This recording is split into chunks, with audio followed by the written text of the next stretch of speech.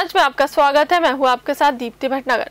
बुरहानपुर ज़िले के ढाई हज़ार से अधिक किसानों को प्रभारी मंत्री तुलसी सिलावट ने कर्ज माफ़ी के प्रमाण पत्र वितरित किए। बुरहानपुर के रेणुका कृषि उपज मंडी में आयोजित कार्यक्रम में किसानों के 18 करोड़ 26 लाख रुपए के कर्ज माफ़ी के प्रमाण पत्र दिए गए। कार्यक्रम में नेपानगर विधायक सुमित्रा कास्टेकर और बुरहानपुर के निर्दलीय विधायक सुरेंद्र सिंह मौजूद थे।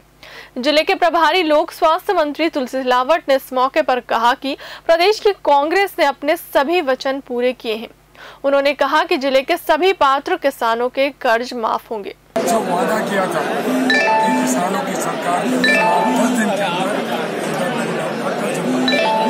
के युवाओं को बेरोजगारी भत्ता देंगे, पेंशन बढ़ाएँगे, किसानों का बिल हाफ़ करेंगे। आप जानते हो कन्याओं की शादी को इक्कीस हज़ार से बढ़ाकर इक्यावन हज़ार करेंगे। और आप जानते हो मात्र तैतालीस दिन के अंदर ऐतिहासिक काम। मध्य प्रदेश के ओजस्वी मुख्यमंत्री कमलनाथ जी के नेतृत्व में ये ऐतिहासिक काम किया क्योंकि भाजपा ने कर्ज मुक्ति का शुरू से विरोध किया। मैं उनसे आपके माध्यम से पूछना चाहता हूँ। एक वचन कांग्रेस ने बोला वो पैंतालीस दिन में कर दिया। आप पौने पाँच साल चुनाव आ जाए पंद्रह लाख के खाते में जमा हो जाएँगे। बुरहानपुर से मोहम्मद वसीम की रिपोर्ट न्यूज़ आज। फ़िलहाल के लिए मुझे दिए इजाज़त, आप बने रहे न्यूज़ आज के साथ।